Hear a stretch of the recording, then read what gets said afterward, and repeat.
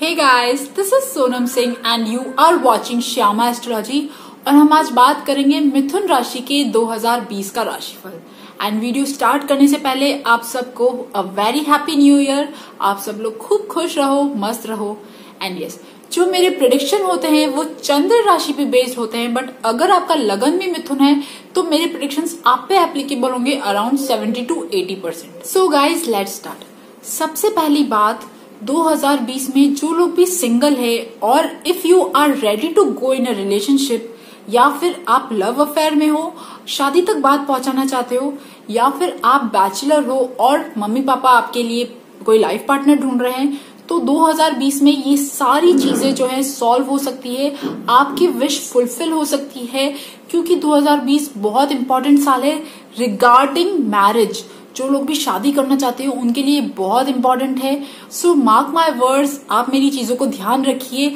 जब भी आपको कोई लाइफ पार्टनर मिलेगा या आप रिलेशनशिप में जाओगे, आप मेरी वीडियो पे वापस आओगे and you will comment that I was true so open your heart share your feelings जिस, जिनको भी आप पसंद करते हो, उनके साथ अपनी फीलिंग्स शेयर कीजिए, अपने रिलेशनशिप में आगे बढ़िए।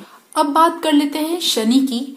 हालाँकि मैंने शनि का ट्रांजिट की एक वीडियो बनाई है, उसमें मैंने मिथुन राशि के लिए बताया है बट मैं यहाँ ब्रीफ में बता देती हूँ कि जब 24 जनवरी के बाद जब शनि आपके अष्टम भाव में चले जाएँगे और जिनकी चंद्र राशि मिथुन है तो उनके लिए ढैया जो है वो स्टार्ट हो जाएगी बट फिर भी ये इतना नेगेटिव नहीं रहेगा क्योंकि शनि जो है वो अपने ही घर में जाएँगे बट थोड़ी बहुत चैलेंजिंग सिचुएशन आएगी। चैलेंजिंग सिचुएशन कहाँ पे? Related to your work related to your career आपको ऐसा फील होगा आपके वर्क प्लेस पे, आपके करियर में कि आप जहाँ पे भी काम कर रहे हो, आपको स्टक्ड फील होगा, एक स्टेगनेंट पोजीशन रहेगी, आपको लगेगा कि आपकी ग्रोथ नहीं हो रही है प्रमोशन नहीं हो रहा इंक्रीमेंट नहीं हो रहा, आपको ऐसा भी फील होगा कि मैंने यहाँ पे बहुत काम किया, आपको वैसा रिटर्न नहीं मिल रहा है तो you will feel like quitting your job तो एक चीज़ ये, तीस मार्च से लेकर तीस जून और बीस नवंबर के बाद और दिसंबर। इन टाइम पे आप प्लीज़ जॉब मत छोड़िएगा। अदरवाइज़ इन महीनों को छोड़ के अगर आप जॉब छोड़ने की सोच रहे हो तो आप छोड़ सकते हो। And yes 2020 it is very good for students students के लिए बहुत अच्छा है। जो लोग भी बाहर जाके पढ़ना चाहते हैं, उनके लिए बहुत अच्छा है। हायर एजुकेशन के लिए अच्छा है। कॉम्पिटेटिव एग्ज़ाम्स के लिए अच्छा है। और क्योंकि साल की स्टार्टिंग में मंगल जो है वो आपके सिक्स हाउस में रहेंगे तो साल की स्टार्टिंग से ही आपको फील होगा कि आप फिटनेस की तरफ़ ध्यान दीजिए, आपकी रूटीन एक्टिविटीज़ में आप और ज़्यादा इन्वॉल्व हो जाओगे, आपके अंदर इतनी एनर्जी आएगी। और 2020 उन लोगों के लिए खासकर अच्छा है जो लोग अपना नया बिज़नेस खोलना चाहते हैं न्यू स्टार्टअप खोलना चाहते हैं बिज़नेस पार्टनरशिप पार्टनरशिप ढूंढ रहे हैं इन्वेस्टमेंट के लिए। So it is very good for business but एक एडवाइस ये कि आप एक बहुत बड़ा इन्वेस्टमेंट करने की ना सोचे, कोई बहुत बड़ा रिस्क लेने की ना सोचे 2020 में, क्योंकि सैटर्न जो है वो आपके एट्थ हाउस में चल रहे हैं।